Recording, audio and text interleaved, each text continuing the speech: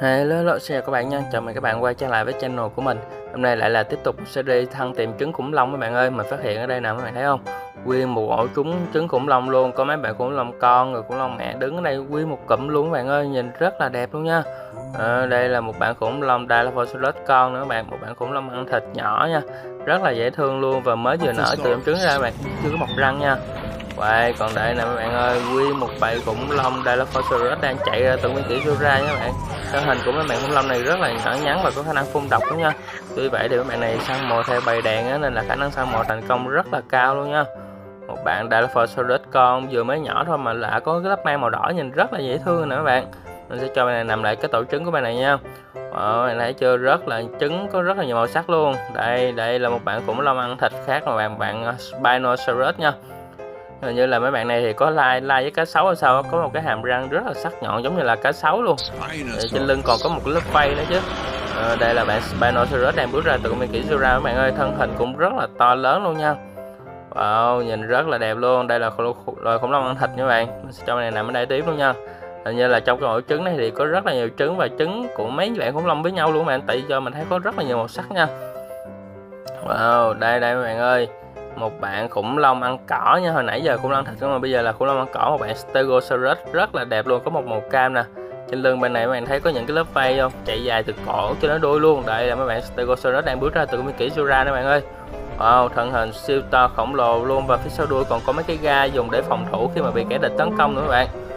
Wow, các bạn thấy không? Mấy bạn này cũng là ăn cỏ nên là thân hình rất là to lớn luôn nhưng mà cũng rất là hiền mấy bạn. Nhìn rất là đẹp luôn, một bạn khủng long Stegosaurus màu cam nè khá là dễ thương luôn. Mấy bạn này là ăn cỏ nên là cái miệng không có nhiều răng và cái đầu cũng nhỏ nữa mấy bạn. À, quá là nhiều trứng ngày hôm nay luôn. Còn đây bạn ơi. Oh, đây đây là một bạn khủng long bảo chúa nè bạn. Một bạn khủng long T-Rex nha hay gọi là khủng long bảo chúa. Cái bạn này là khủng long ăn thịt mà có kích thước lớn nhất trong thời kỳ kỷ Sura luôn bạn.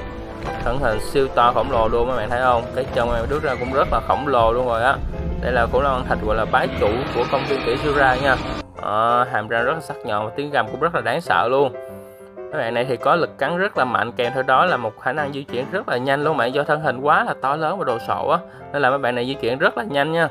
Ừ, mình sẽ cho bạn này nằm ở đây luôn một bạn khủng long T-Rex rất là đáng sợ và rất là ngầu luôn. Rồi, nhân vật của chúng ta ngày hôm nay đây đây là một bạn Dilophosaurus mẹ nha lúc nãy là chúng ta phát hiện được một bạn Dilophosaurus con rồi đó. Ờ, bạn này thì có khả năng phun độc nữa các bạn à, khi mà tấn công con mồi hay là phòng thủ các bạn này có thể phun độc ra để mà làm mù mắt con mồi hoặc là đối thủ của mình nha. Sau đó rồi mới tấn công. Wow, bạn thấy không? Khi khả năng rất là đẹp luôn. Một cái lớp mang trên lưng luôn. À, một cái lớp mang trên cổ khi mà phòng lên rất là đẹp các bạn thấy không? Bạn khủng long nguyên một bầy đây là con rất đang chạy ra luôn nè. Wow. Rất là đẹp nha các bạn ơi. Mẹ này cũng rất là ngầu nha. Thân hình thì cũng nhỏ thôi nhưng mà có khả năng tấn công rất là kinh khủng luôn các bạn Wow, quả là ngầu quả là đáng sợ luôn bạn ơi. Đây là Forcerus nha. Đây là mấy bạn ấy, đó, mấy bạn thấy không? Khi mà gặp kẻ thù mấy bạn nó phong lên thôi là gặp để, để mà nói chuyện với nhau, giao tiếp với nhau luôn các bạn. Rất là đẹp luôn một bạn, đây là Forcerus có màu sắc vô cùng rực rỡ luôn. Trên trên đầu còn có lớp màu nữa. Ừ. Mình sẽ cho bên này nằm ở đây luôn nha.